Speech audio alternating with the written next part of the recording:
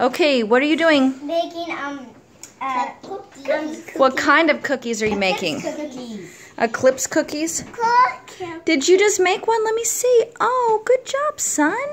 That's a great cookie. Let me put it over here. And look at all of our Eclipse cookies. Adelie, let me see you do yours. Well, this is I'm still making one. Kylie, let me see. Oh, good, But Kylie. That's I'll perfect. show you how to make them. So first you get a Neil, let me see yours. Here, let's so, give Reedy Bear a little bit more. Here you go.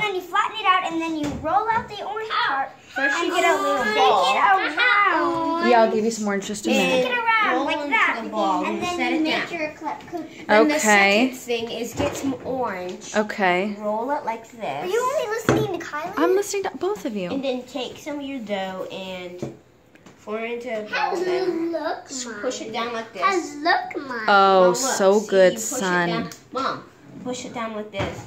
And you wrap it? the orange around it. it? And Yeah, you can hold it, buddy. Let me see. Time for baking. Love it. Orange. Love it. Good. Smell, camera, smell. Smell. Let me see yours, buddy. This is so When it's baked, it'll good smell better, cookie folks. making.